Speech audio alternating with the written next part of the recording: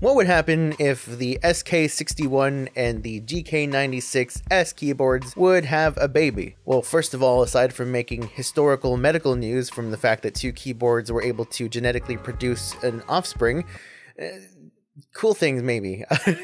well, the fine folks at EpoMaker have created the SK71 to answer that question. It's actually technically older than the GK96S. Uh, I've actually had this longer than the GK96S. Oops. Well, this here is the SK71 from EpoMaker. It's a tiny keyboard in a compact form factor that somehow manages to jam arrow keys and a number pad all onto this little plank at an even smaller size than the GK96S. And uh, it's a little bit weird.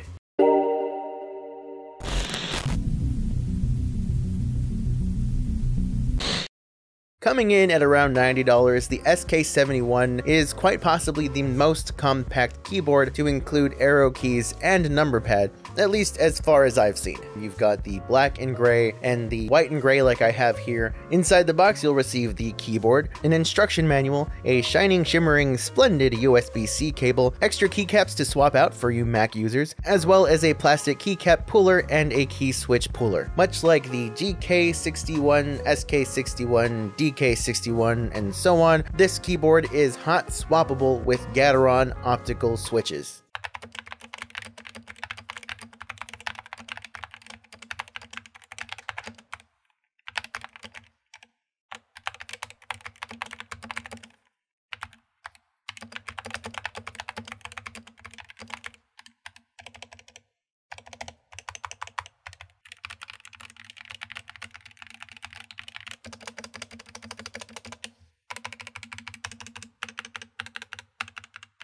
EpoMaker calls this a 70% keyboard. With just 10 keys more than a traditional 60% keyboard, they're able to pack in a number pad and arrow keys, but it does come with some compromises in order to achieve that many keys at such a small form factor. There have been some tweaks and changes to some of the sizes of some of the keys in order to fit all this, and it's going to take some getting used to. One of the biggest key differences you might notice, aside from this side of the keyboard, is the left side of the keyboard. The tab, caps, and left shift key are all smaller than they would normally be on any other keyboard. The tab key, which is normally I think 1.75 or 1.5 U, is just 1 U, meaning it's the same width as a normal letter key. Caps comes in at just a little bit bigger, looks like maybe it's a 1.25 U, and then the left shift is a 1.75 U, which is about the same width that you would find usually on a right shift key on 65% keyboards like the Akko 3068. Your control, win, and alt keys on that side are all normal sized. So by cutting down the size of the tab, caps, and left shift key,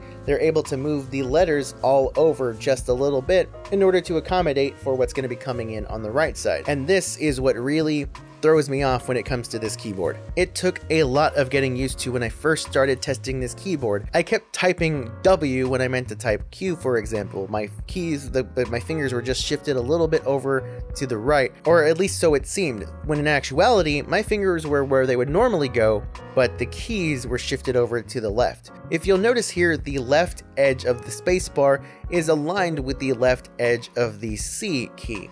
Normally on a keyboard, the spacebar usually ends somewhere in the middle of the X key. Now this may seem like a minor difference, but when you're so used to typing on a more traditional standard layout, it is really confusing. Now on the right side of the keyboard, in order for them to fit those arrow keys, you have no right, alt, or control, which is fine. I never really use alt or control on the right side of the keyboard. What you do have is a 1U function key, which you'll use to trigger secondary functions such as adjusting the lighting or pressing the function row on the number row of the keyboard. And that's another thing, the top row of the letters is actually aligned now with the number row because of the fact that the letters are all shifted over. The backspace key is a normal size, Enter is smaller at about 1.75U from what I can tell. The right shift looks like it's like maybe 1.25, 1.5. Oh, another weird thing is that the backspace is over to the left more than it would normally be. After zero, instead of having plus and minus there, you just have the backspace key, and plus and minus are instead over the number pad next to numlock. Then with the number pad, you have the right arrow going into the number pad itself under the one key. I don't think that that's that huge of a deal. I think the GK96 had that as well,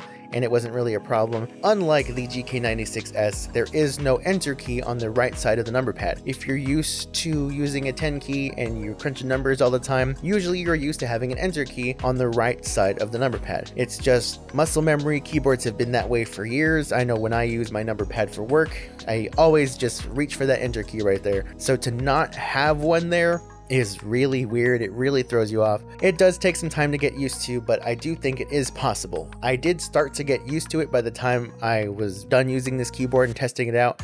I moved on to another keyboard and started testing that for a video, and when that happened, I realized that I was typing too much to the left. Like, I didn't realize it, but my brain did start to adjust to the layout of this keyboard. The keycaps included are PBT dye sublimated GSA profile keycaps, much like the ones on the SK61. While I do like that the SK61 had a very clean, minimalistic looking design on their keycaps, this definitely follows that, but there are a couple of keycaps that have a secondary function printed on the keycap. The SK61 did not have that, which could be a little weird and intimidating, especially for new users if you're just coming into a 60% keyboard and you don't know where your secondary functions are on that keyboard it's going to throw you off and you might hate that experience. This is at least nice to have those secondary functions labeled on here so you have a better idea of what it is you can do with this keyboard without having to refer to a manual or changing the customization in your software. So for practicality and ease of use when it comes to a keyboard of this form factor, that is a nice little plus. Speaking of software, this has the same software as the GK61, SK61, GK96, etc. They're all part of the same family, in other words, so they're all able to run on that same type of software. So you're able to customize it. Like my previous videos on other GK61-esque keyboards, I'm not going to run through all the software features because I have covered it on my GK61 video, which I will stamp here so you can check that out if you want. Now, if you do pick up this keyboard, you better make sure that you pick up one that has keycaps that you like, because changing the keycaps on this thing is going to be pretty difficult. For the most part, yeah, your letters, your numbers, those will be easy to replace. But I mean, when you consider the various weird sizes of the other keys like tab, caps lock, enter, those are going to be really hard to find a compatible set. I want to really stress that this is not a bad board, but it is going to take a lot of getting used to. In the end, it's all a muscle memory thing. If you can take the time to retrain your brain to get used to this and you make this keyboard your daily driver, you don't switch between other keyboards like